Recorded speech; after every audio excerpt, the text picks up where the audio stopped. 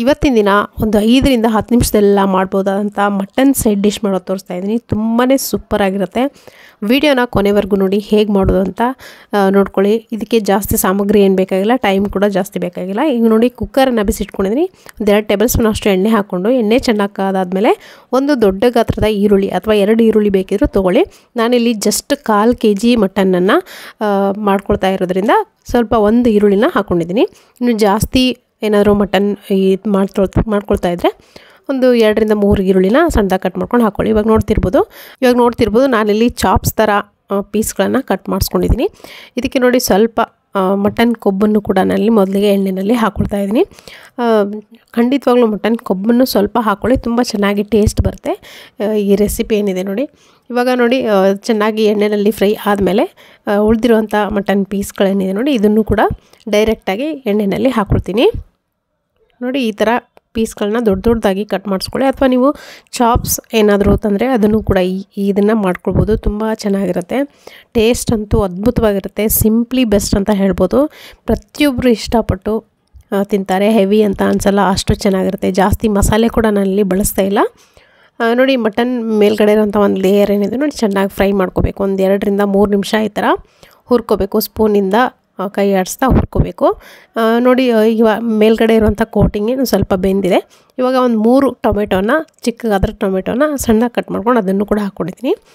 ಮೇಲ್ಗಡೆ ಸ್ವಲ್ಪ ಉಪ್ಪನ್ನು ಹಾಕ್ಕೊಂಡು ಫ್ರೈ ಮಾಡೋದ್ರಿಂದ ಈ ಟೊಮೆಟೊ ಬೇಗನೆ ಸ್ವಲ್ಪ ಸಾಫ್ಟಾಗಿ ಬೇಯುತ್ತೆ ಅಂತ ಉಪ್ಪನ್ನು ಕೂಡ ಹಾಕ್ಕೊಂಡಿದ್ದೀನಿ. ರುಚಿಗೆ ಎಷ್ಟು ಬೇಕಷ್ಟು ನೋಡ್ಕೊಂಡು ಇವಾಗಲೇ ಹಾಕೋಬೋದು ಒಂದು ಟೀ ಸ್ಪೂನಷ್ಟು ಅರಿಶಿನ ಪುಡಿ ಹಾಕ್ಕೊಂಡಿದ್ದೀನಿ. ಜೊತೆಗೆ ಸ್ವಲ್ಪ ಕೊತ್ತಂಬರಿ ಸೊಪ್ಪು ಹಾಗೆ ಪುದೀನ ಸೊಪ್ಪನ್ನು ಕೂಡ ಸಣ್ಣದಾಗಿ ಕಟ್ ಮಾಡ್ಕೊಂಡು ಹಾಕ್ಕೊಂಡಿದ್ದೀನಿ ನೀವು ಬೇಕಿದ್ರೆ ತರ್ತರಿಯಾಗಿ ರುಬ್ಬಿ ಕೂಡ ಹಾಕೋಬೋದು. ನಾನಿಲ್ಲಿ ಸಣ್ಣದಾಗಿ ಕಟ್ ಮಾಡ್ಕೊಂಡು ಹಾಕ್ಕೊಂಡಿದ್ದೀನಿ ನಾವಿಲ್ಲಿ ಕುಕ್ಕರ್ ವಿಜಲ್ ಕೂಗ್ಸೋದ್ರಿಂದ ಅದು ಏನು ಪೂರ್ತಿಯಾಗಿ ಸಾಫ್ಟಾಗಿ ಬೆಂದು ಗ್ರೇವಿ ಥರ ಆಗುತ್ತೆ, ಕರಗತ್ತೆ ಅದು. ಹಾಗಾಗಿ ಕಟ್ ಸಣ್ಣದಾಗಿ ಕಟ್ ಮಾಡ್ಕೊಂಡು ಹಾಕಿದ್ರು ಕೂಡ ನಡೆಯುತ್ತೆ. ಇವಾಗ ಒಂದು ಸಿಂಪಲ್ ಆಗಿರುವಂಥ ಕಡಿಮೆ ಇಂಗ್ರೀಡಿಯೆಂಟ್ಸ್ ಬಳಸಿ ಮಾಡುವಂಥ ಒಂದು ಮಸಾಲೆ ಮಾಡ್ಕೊಳ್ಳೋಣ.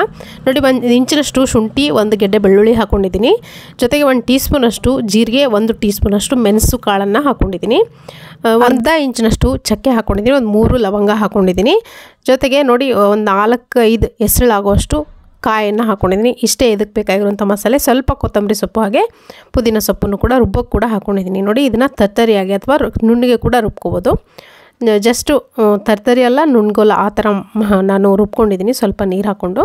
ಇದನ್ನು ಹಾಕ್ಕೊಂಡಿದ್ದೀನಿ ಹಾಕ್ಕೊಂಡು ಜಾರ್ಗೆ ನೀರನ್ನು ಹಾಕ್ಕೊಂಡು, ಜಾರ್ನಲ್ಲಿ ಅಂಟಿರುವಂಥ ಮಸಾಲೆ ಕೂಡ ಹಾಕ್ಕೊಂಡು, ಒಂದು ನಾಲ್ಕರಿಂದ ಐದು ಹಸಿಮೆಣಸಿನ್ಕಾಯಿ ಈ ಥರ ಸೀಳ್ಕೊಂಡು ಹಾಕ್ಕೊಂಡಿದ್ದೀನಿ ಈ ಥರ ಹಾಕೋದ್ರಿಂದ ತುಂಬ ಚೆನ್ನಾಗಿ ಟೇಸ್ಟ್ ಬರುತ್ತೆ. ಖಾರ ಏನಿದೆ ನೋಡಿ, ಖಾರದ ಫ್ಲೇವರು ಬಿಟ್ಕೊಳ್ಳುತ್ತೆ ಇವಾಗ ಮೇಲ್ಗಡೆ ಪೆ, ಸ್ವಲ್ಪ ಪೆಪ್ಪರ್ ಪೌಡ್ರ್ ಕೂಡ ನಾನು ಅಲ್ಲಿ ಹಾಕ್ಕೊಳ್ತಾ ಇದ್ದೀನಿ.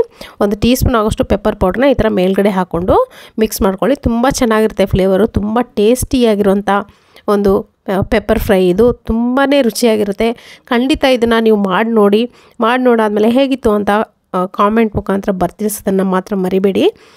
ನೀವು ಮಟನ್ ತಂದಿರ್ತೀರ, ಒಂದು ಕೆ ಜಿ ತಂದಿರ್ತಾರೆ, ಅದರಲ್ಲಿ ಒಂದು ಕಾಲು ಕೆ ಜಿ ಎತ್ಕೊಂಡು ಈ ಥರ ಮಾಡಿ ನೋಡಿ. ನೋಡಿ ಕೊನೆಯದಾಗಿ ಸ್ವಲ್ಪ ಕರ್ಬೇವಿನ ಸೊಪ್ಪು ಕೂಡ ನಲ್ಲಿ ಹಾಕ್ಕೊಂಡಿದ್ದೀನಿ ಈ ತ, ಈ ಟೈಮ್ನಲ್ಲಿ ಕರ್ಬೇವಿನ ಸೊಪ್ಪು ಹಾಕೋದ್ರಿಂದ ತುಂಬ ಫ್ಲೇವರ್ ನೋಡಿ ಎಲ್ಲ ಬಿಟ್ಕೊಳ್ಳುತ್ತೆ ಕರ್ಬೇವಿನ ಸೊಪ್ಪಲ್ಲಿ ಇರುವಂಥ ಫ್ಲೇವರು ರಸಮ್ನಲ್ಲಿ ಬಿಟ್ಕೊಳ್ಳುತ್ತೆ ತುಂಬ ಚೆನ್ನಾಗಿರುತ್ತೆ. ಕೊನೆಯದಾಗಿ ಸ್ವಲ್ಪ ಇದಕ್ಕೆ ನಲ್ಲಿ ಮೀಟ್ ಮಸಾಲ ಅಂತ ಸಿಗುತ್ತಲ್ಲ, ಅದನ್ನು ಒಂದು ಟೀ ಸ್ಪೂನಷ್ಟು ಹಾಕ್ಕೊಂಡಿದ್ದೀನಿ ಇವು ಆಪ್ಷನಲ್ಲು ಇದ್ದರೆ ಹಾಕೊಳ್ಳಿ ಇಲ್ಲಾಂದರೆ ಗರಂ ಮಸಾಲ ಕೂಡ ನೀವು ಇಲ್ಲಿ ಹಾಕೋಬೋದು.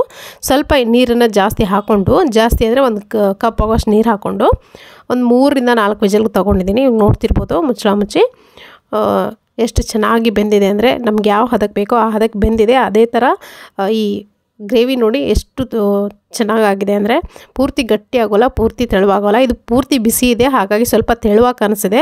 ಸ್ವಲ್ಪ ಆರಿದ್ಮೇಲೆ ಸ್ವಲ್ಪ ಗಟ್ಟಿ ಆಗುತ್ತೆ ಗ್ರೇವಿ. ತುಂಬಾ ರುಚಿಯಾಗಿರುತ್ತೆ ಫ್ರೆಂಡ್ಸ್, ಖಂಡಿತ ಇದನ್ನು ಮಿಸ್ ಮಾಡಲೇಬೇಡಿ. ಒಂದು ಸರಿ ಮಾಡ್ಕೊಂಡು ನೋಡಿ ನಿಮಗೆಲ್ರಿಗೂ ಇಷ್ಟ ಆಗುತ್ತೆ. ರೊಟ್ಟಿ, ಚಪಾತಿ ರಾಗಿ ಮುದ್ದೆ ಜೊತೆಗಂತೂ ಒಂದು ಒಳ್ಳೆ ಕಾಂಬಿನೇಷನ್ ಅಂತ ಹೇಳ್ಬೋದು.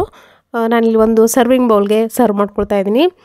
ರುಚಿ ರುಚಿಯಾದಂಥ ಪೆಪ್ಪರ್ ಫ್ರೈ ರೆಡಿಯಾಗಿದೆ ಖಂಡಿತ ಈ ರೆಸಿಪಿನ ನೀವು ಕೂಡ ನಿಮ್ಮ ಮನೆಯಲ್ಲಿ ಟ್ರೈ ಮಾಡಿ ಹೇಗಿತ್ತು ಅಂತ ಅಭಿಪ್ರಾಯ ತಿಳಿಸಿ ಕಾಮೆಂಟ್ ಮುಖಾಂತರ. ಸೊ ಇವತ್ತಿನ ಈ ರೆಸಿಪಿ ಇಷ್ಟ ಆಗಿದ್ರೆ ಲೈಕ್ ಮಾಡೋದನ್ನು ಮರಿಬೇಡಿ. Thank you